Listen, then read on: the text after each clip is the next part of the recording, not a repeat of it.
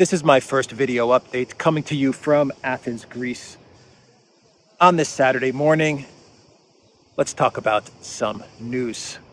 The big story from yesterday was the uh, G7 finance ministers agreeing to implement a price cap for global purchases of Russian oil. Let me read you the statement from the G7 when they confirmed this decision. Quote, we confirm our joint political intention to finalize and implement a comprehensive prohibition of services which enable maritime transportation of Russian crude oil, of Russian origin crude oil, and petroleum products globally. The provision of such services would only be allowed if the oil and petroleum products are purchased, are purchased at or below a price, quote, the price cap, determined by the broad coalition of countries adhering to and implement and implementing the price cap. Now, no details were given as to how they're going to enforce this and what, what the mechanisms are going to be to uh, to come up with this uh, this price cap. But the goals that the G7 ministers uh, stated for this uh, for this price cap were twofold. Number one, to limit upward pressure on global oil prices, and two, to curb Russia's revenue from oil sales. Here is what U.S. Treasury Secretary Janet Yellen said with regards to this G7 agreement. Quote, the price cap will advance our two key objectives. The first, of course, is reducing revenues that Putin needs to continue waging his war of aggression. And the second is maintaining a reliable supply of oil to the global market and putting downward pressure on the price of energy for people in the US, in the UK, and around the world. So, of course, the Kremlin is just not going to sit back and, uh, and take this they're going to respond and they're going to retaliate. And here is the first initial response from Moscow coming from the Deputy Prime Minister Alexander Novak. He said, quote, we will simply not supply oil and petroleum products to such companies or states that impose restrictions as we will not work non-competitively. Novak said while denouncing the price cap as completely absurd it will completely destroy the market, Novak continued, arguing that interference in market mechanisms in a key commodity like oil would have a destabilizing impact on energy security in countries across the world. Yeah, this is not a good idea. This is not a good idea at all. So Bloomberg is saying that uh, the G7 the sweet spot for the for the price cap is going to be around 50 to 60 dollars per barrel. They're taking into consideration that russia the russian operating uh, budget it needs oil to be at around 40 dollars uh, a barrel in order for uh, russia to to continue to to produce and to sell uh, oil on uh, on the markets so they're they're looking to take it down from, say, the $80 a barrel mark. Let's just say it's at $80 a barrel. They're looking to take it down to around 50 to 60 so that, uh, so that the thinking goes that Russia is going to continue to supply oil to the markets, but uh, it's not going to be raking in the, the massive profits that uh, it has been raking in over the past six months since the uh, the special military operation. That's kind of the thinking as to what uh, what the G7 is doing. The EU also has their own um, oil oil embargo slash I don't want to say price cap, but but embargo on insurance for uh, for tankers as well with regards to Russian oil. They they passed this during the uh, the sixth energy package which was about, I believe it was sometime in June. And uh, the European Union, they decided to, uh, to phase in an embargo on Russian oil, which is going to come into effect I believe, in around January. And what this embargo would entail is that EU countries would not be allowed to import um, Russian oil via via tanker, via ship, and um, and they put they also put in place these uh, these insurance uh, sanctions, meaning that any tanker that was uh, was importing Russian oil would not uh, would not be getting insured to import that oil. And then they created a bunch of carve outs for oil coming in via pipeline. Um, for example, Hungary, which relies via the Druz the Druzhba uh, pipeline, they rely on Russian oil. Through those uh, through those mechanisms, and the EU said we're going to accept Hungary from the oil embargo up until a certain uh, time period. I believe it was set for like 2023 or 2024. I could be wrong on the time period. But uh, Hungary has, uh, say, about a year, give or take, to uh, to figure out alternative ways to get oil to uh, to move away from Russian oil. But until then, we're going to create this carve out, and we're going to allow the oil to come through a pipeline. They created all these carve outs um, with regards to to the EU's embargo. So just to paint the picture, now you have a type of quasi EU Russian oil embargo that is being phased in over time. Uh, you have the EU imposing a type of, uh, of insurance um, insurance sanctions with regards to Russian oil coming into the European Union. And now you have the G7 coming on top of all of this and they're saying now we're going to work to impose a type of global embargo on Russian oil. And that embargo is going to be enforced, as you heard from the G7 uh, statement, it's going to be enforced by uh, looking to to uh, embargo any types of, uh, of insurance or services to uh, to countries that do not follow this price cap. Any countries that are looking to to circumvent this price cap, well, they're not going to uh, they're not going to receive, for example, uh, financing to transport that oil, or or the tankers aren't going to receive insurance for uh, for that oil and stuff like that. So that's how they're. Those are the first indications, at least, as to how they're going to enforce these these mechanisms. But we haven't gotten the exact details of this. So, um, three scenarios. Let me give you three scenarios from Zero Hedge, and then let me give you three scenarios from Goldman, Goldman Sachs. So, Zero Hedge says this with regards to this price cap. They say scenario one Russia does not cooperate and retaliates. A three MBD cut would likely deliver a $190 um, barrel oil price.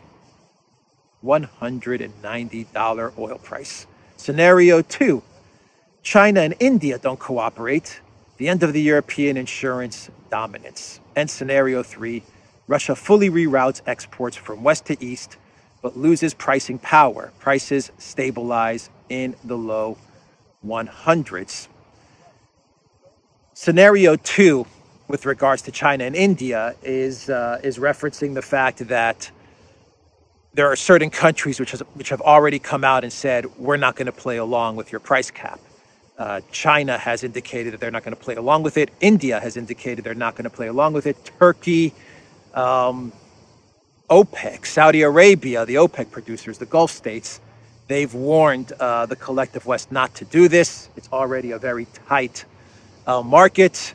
Don't go through with this, this is what Saudi Arabia said you're going to blow apart the entire market. You're going to create a ton of instability, and uh, we just don't need that right now.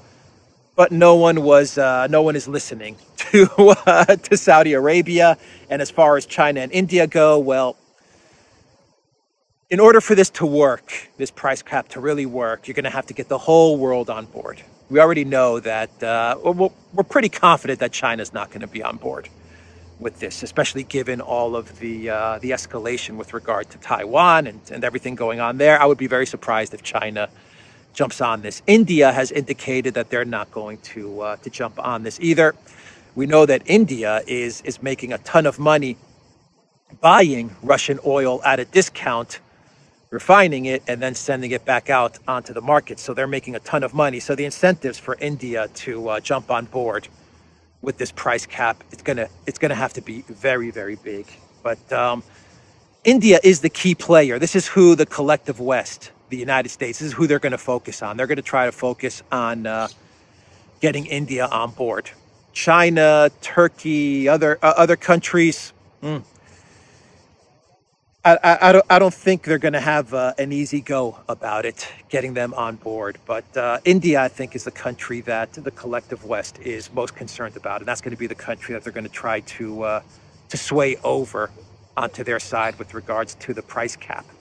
But let me read you three scenarios from um, Goldman Sachs. And they follow along the lines of the three scenarios from Zero Hedge as to how this could all shake out. What Goldman Sachs is, uh, is saying is that scenario number one Russia stops all exports, taking 10.5 million barrels per day off the market. Prices shoot to $280 a barrel. The world economy goes to goes to the crapper. At 190, it'll go to the crapper, but 280, okay. But I, I, I don't think Russia would is going to pull everything off off the market. Scenario number two: Russia continues to sell, and OPEC is forced to sell under the Russian price cap to compete in Asia. This would mean that the collective West kind of uh, controls the price of oil. It's kind of like Russia saying, you know what, we're not going to uh, we're not going to say anything about this. We're going to continue to to put oil out on the market, and um, this fifty to sixty dollars. Well, okay, we're still making uh, a profit on the oil, or we're breaking even on the oil production, and so c'est la vie, right? There, that, that's that's what this scenario two is saying, but you know, that would mean that all of OPEC, Saudi Arabia, everybody is now going to be forced to sell at these uh, at this price cap uh, uh, price, and that would that would mean that the collective West, this uh, this cartel of countries, right, the G7, the EU, that would mean that they're going to take a victory lap because, in essence, they control the price of oil all, all the control for the price has left uh, OPEC. They've left the oil producers, and now it's this uh, this buyers cartel that is going to dictate the price. That would that that is what this scenario would mean. So I see absolutely zero possibility of Russia saying, "Okay, we'll play along, we'll continue to uh, to put oil out there and produce oil at these prices, and uh, we lose, we give up."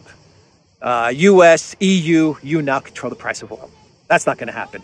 Scenario three is that OPEC realizes that uh, that the U.S. is is is screwing over the market essentially, and uh, and they say, you know what? Screw you. Screw your market manipulation screw your uh, this this little cartel power move that you're that you're trying to put in place to take away the power from us and shift it over to you, and we're going to start to uh, to work outside of the dollar. That's the third scenario, and that's the scenario that uh, is a real distinct possibility. This would essentially mean that the petrodollar is is over it's done with, and uh, all, all, all, kinds of uh, of chaos that takes place. I mean, you know, this, this is a likely scenario. Um, OPEC is furious, and Saudi Arabia has already indicated that they're going to be furious if this happens. They say, you know what? This is, uh, we, we see what you're doing. We see the power grab that you're trying to put in place. We're not going to play along. All of OPEC doesn't play along. Russia doesn't play along, and uh, slowly, slowly, they uh, they start to ditch the the petrodollar. That is probably the most likely scenario. So I've given you a bunch of scenarios from uh, from Zero Hedge, from Goldman Sachs. Some of those scenarios overlap, but uh, I, I think we could all come to the conclusion that Russia is not going to play along with this they're uh, they're not just going to, to wave the white flag and say, okay, we surrender. We'll play along and deliver oil at $50 or $60 a barrel and, and you guys win. That is not going to happen. Um, it's going to be very difficult to get the entire world on board. It's going to be very difficult to uh, to continue your dominance in the insurance markets as well. We've had indications that Lloyd's in London, they're not playing along with uh, the EU insurance uh, sanctions.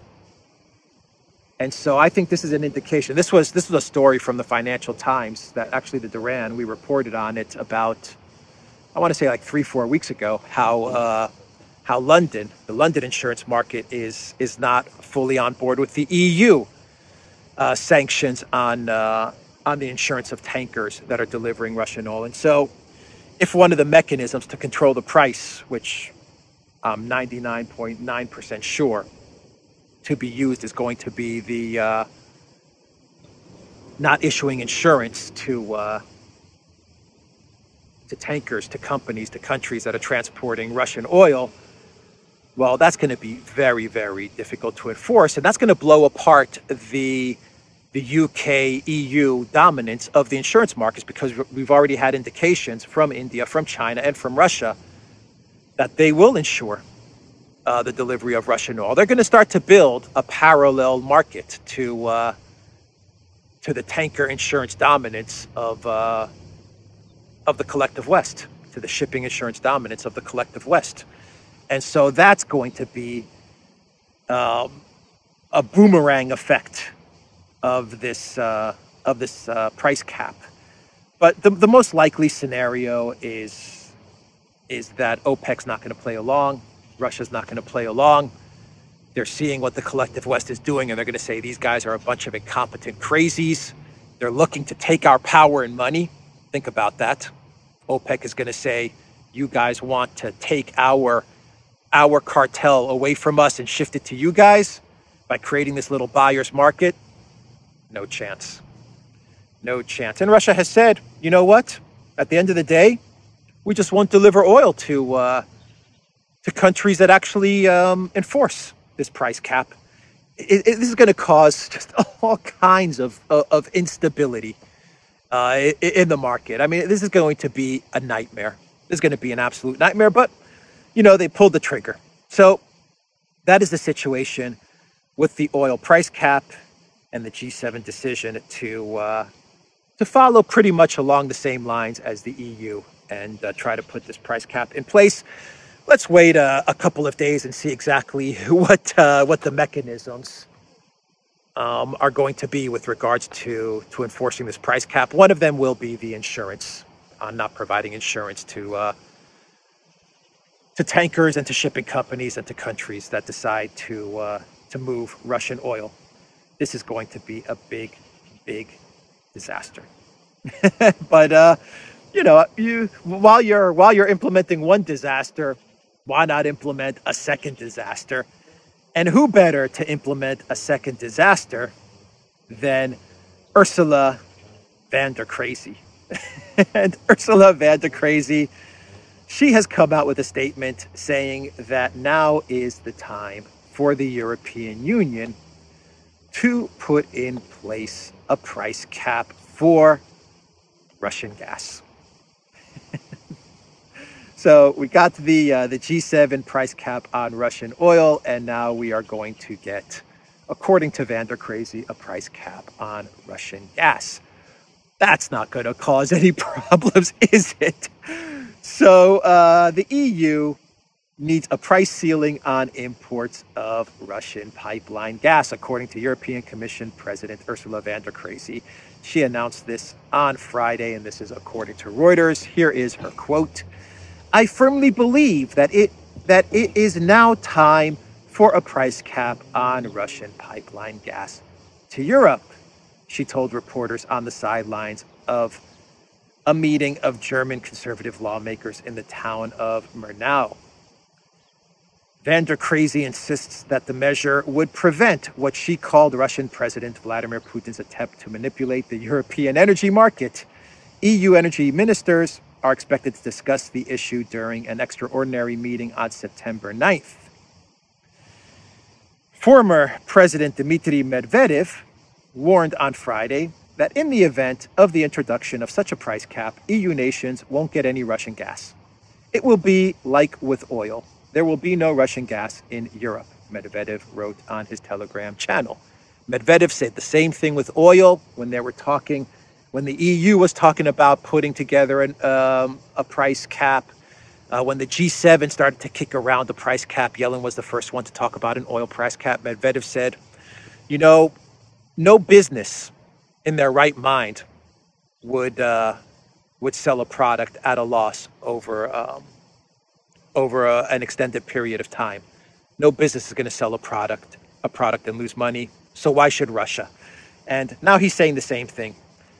If uh, if the EU goes ahead and puts a price cap on Russian gas, which I'm confident they will, the fact that Van der Crazy is saying this means that uh, there's a will and a determination to do this, then it means that Russia is just going to stop all the gas coming into the European Union. And um, this is not just Nord Stream 1. This is everything, including the transit gas that moves through Ukraine and the, uh, the transit fees that Ukraine is still um, extracting from, uh, from the gas that moves from their territory, not to mention the fact that they siphon off a lot of this gas and they blackmail the European Union with regards to this gas that transits via pipelines in Ukraine. But this would basically mean all the gas to Europe is going to be cut off if you take this threat from uh, Dmitry Medvedev seriously, and I see no need not to. Because the, uh, the Russians, the Kremlin has shown that uh, they have no problem toying around with the EU when it comes to, uh, to gas supplies. And uh, we have the, the story, the news, that uh, Nord Stream 1 is now going to move into a period of extended maintenance. Extended maintenance. And this has to do with the fact that uh, Gazprom has found um, an oil leak. I believe actually three oil leaks in uh, Nord Stream 1 as it was undergoing these uh, this three, four day period of maintenance, which was previously announced. This was no secret that Nord Stream 1 would be shut off completely to undergo um, a routine maintenance for three to four days. And during this maintenance, would you believe that uh, Gazprom found um, an oil leak? and interestingly enough, the discovery of this uh, oil leak during repairs of, uh, of Nord Stream 1, during maintenance of Nord Stream 1, pretty much followed in line with Ursula von der Crazy's announcement of some sort of uh, price cap needing to uh, to be put in place on Russian gas. Isn't that interesting? Russia's energy giant Gazprom announced on Friday the suspension of natural gas supplies to the EU via Nord Stream 1 pipeline for an indefinite period due to technical malfunctions. The pipeline was supposed to restart on September 3rd following repairs to its sole operating turbine. According to the company, it received a warning from Russia's industrial regulator Rostekhnadzor about the turbine failure. The problems were reportedly detected during scheduled maintenance work, and the pipeline will not be able to operate without proper repair, according to Gazprom. The Russian firm said that it has informed German manufacturer Siemens about the turbine's failure and the need for an overhaul. oh man. Gazprom, uh, Nord Stream 1, Nord Stream 1 has gone from 100% to 60% to 20% to 0%. And, and that's not the kicker to all of this. That is not the kicker to all of this. I can't confirm this 100%. But from what I understand, from what I understand, these oil leaks, these three oil leaks that have been uh, spotted by Gazprom in these turbines, these oil leaks in three turbines, sorry, these oil leaks in three turbines that Gazprom has detected. Well, the only place that these turbines can be fixed is, you guessed it, Canada. and uh, from what I understand, Siemens, they're kind of, um, they've issued statements saying that they're kind of at uh, a wait and see uh, level right now. They're kind of saying, you know what? We're not sure if we're contracted to fix such types of leaks. That's what Siemens said. But Siemens has also said we're on standby. And uh, if there is maintenance that is needed, we're on standby to see exactly what's uh, what's going on. So uh, it looks like Olaf Scholz is going to have to uh, call Justin Trudeau again and send another three turbines Trudeau's way. Oh boy. Ring, ring. Uh, yes, hello? Justin. Justin, this is Olaf Scholz, Chancellor of Germany. Oh, hey, Olaf. How you doing? How are things going in Germany? Did you fix that turbine uh, thing that, that we were talking about last time? No, Trudeau, you idiot. You still have one turbine. Actually, I think you have five turbines with you. Oh, do we? Oh, well, let me follow up on that and see if, uh, if we fix those turbines and we can send them your way. Look, look, look, Trudeau, forget those turbines. I've got a new problem. Really, Olaf? What's that? Well, here's the deal, Trudeau. Uh, Gazprom, they've notified me that they have three turbines that now need repair. And uh, Siemens is going to have to send those turbines your way because, according to Gazprom, they have an oil leak. And you're going to have to fix it, Trudeau. I'm going to have to fix it. Look, Olaf, I'm not really good with, you know, fixing stuff, hammers and screwdrivers and nails. I'm not really good with that kind of stuff. No, Trudeau, you idiot. Not you have to fix it. Your team has to fix it.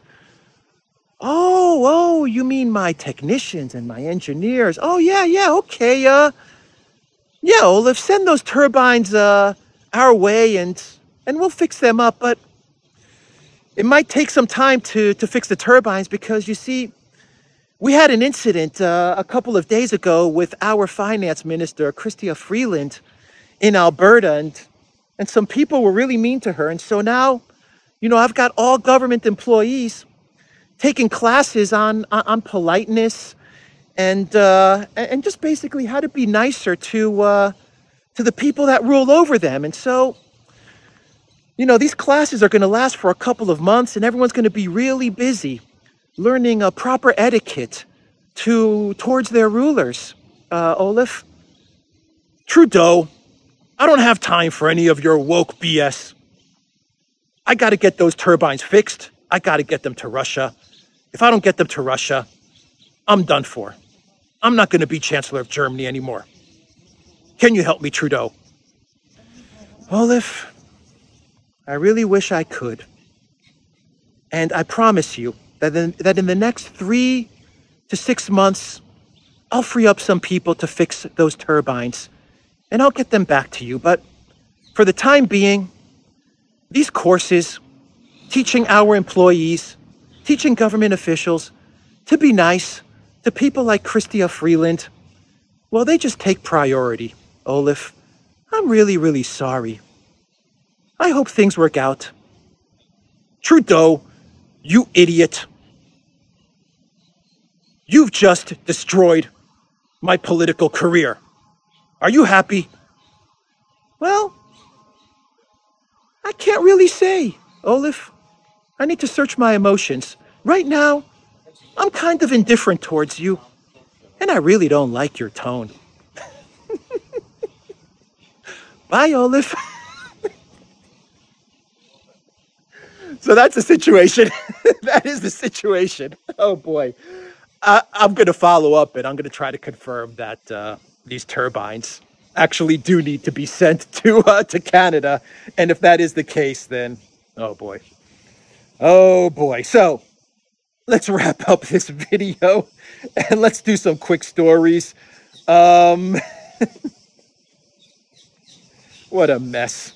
what a freaking disaster the collective West leadership is. By the way, I think they're I think they're doing something here. They're going to have some sort of fair or, or something's going to going to take place here. As you can see there. They've got everything set up for something. We'll see. Um, let's see. Ukraine, they admitted to actually uh, bombing the nuclear plant in Zaporozhye.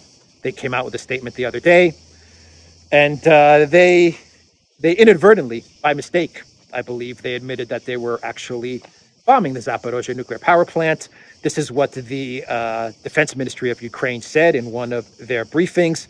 They said uh, in the areas of the settlements of Kherson and Enerhodar, accurate strikes by our troops destroyed three enemy artillery systems as well as an ammunition depot and up to a company of personnel. This is what the General Staff of the Armed Forces of Ukraine said. This was during a daily briefing. The military also claimed that due to the arrival of the IAEA inspection team, the Russian occupiers removed all military equipment from the territory of Zaporozhye nuclear power plants. About 100 units moved to the to the plant, Atom, and Energomash, and the rest were dispersed in the near settlements. So basically, in uh, in an effort to make themselves look like they're uh, they're successful in their military campaign against the Russians, the Ukrainian Ministry of Defense actually admitted that they were indeed uh, shelling the Zaporozhye nuclear power plant. I thought that was an interesting admission. Uh, while we're on the subject of the nuclear power plant, uh, Zelensky's uh, aide, this guy, Zelensky's buddy and aide, Michael Podolyak, actually said that the IAEA should not be trusted by default. Quote, I don't like international institutions and mediation missions in general. They look extremely ineffective, extremely cowardly, and extremely unprofessional, said Michael Podolyak.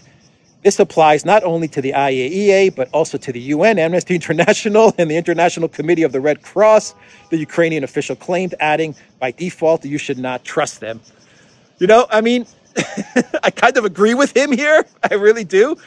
But, uh, you know, all these agencies that he named off have been, you know, 100% on Ukraine's side since the beginning of the of the conflict. But because Amnesty International kind of threw Ukraine under the bus for one report, and because the IAEA is going to most likely, you know, sort out the the Zaporozhye, um, the Zaporozhye incident and the Zaporozhye crisis, because they're there on the ground and they're going to see what's actually taking place. You're now seeing Ukraine say, you know what? Don't believe any of these guys. They're all liars. they don't get what they want. Everyone's a liar. These guys are spoiled children. Let's go this way. Let's go this way. See where we end up. So that was an interesting statement from uh, Podolyak. And finally, let's do a couple of, uh, of clown worlds.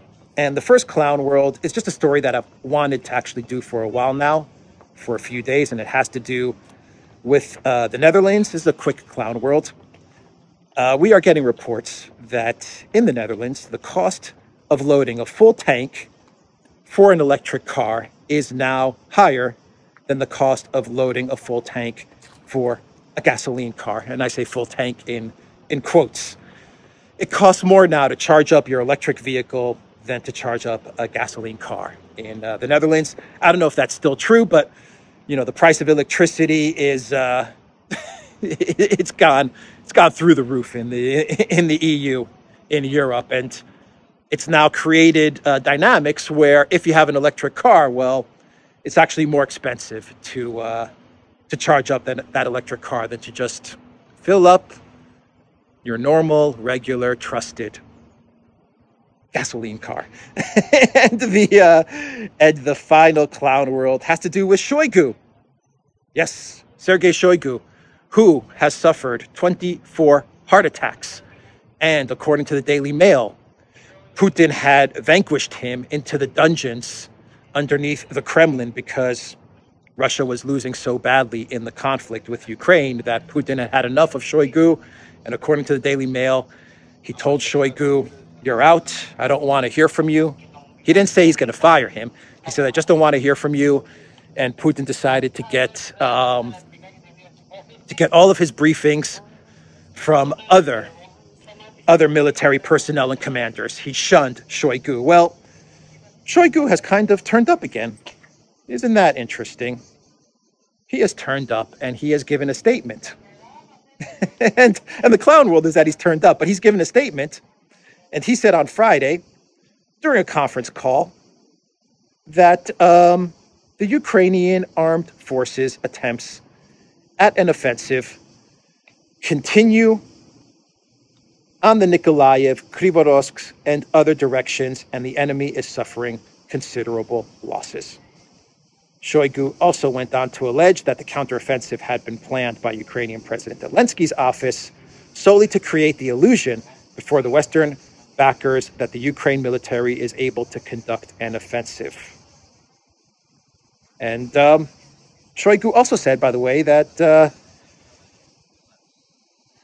many foreign mercenaries were killed, claiming that its troops claimed that Russia had killed over a thousand Ukrainian service members as well as foreign mercenaries. I've heard the number to be around the 3,000 range, plus or minus. The whole counteroffensive has been a complete disaster, but actually, they launched a third wave, which also ended up in disaster as well. Ukraine launched a third wave in Kherson, and that didn't go over well at all. But here you have Shoigu coming out of exile to uh, actually give a statement and say that the Kherson counteroffensive has been a disaster, that uh, he actually said that the Russian military is now pretty much where they were, where everything was before the Kherson counteroffensive took place. In other words, all of this this stuff that went on for the past three four days has resulted in pretty much minimal to zero territorial gains via via Ukraine.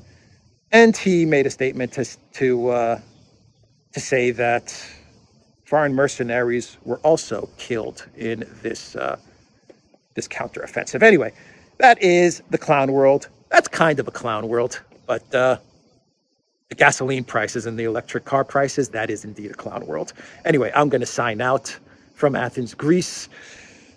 Uh, the Duran.locals.com. Check out Alexander's channel. Check out the Duran's channel. And look for us on Rumble, on Odysee, BitChute, and Telegram. Take care.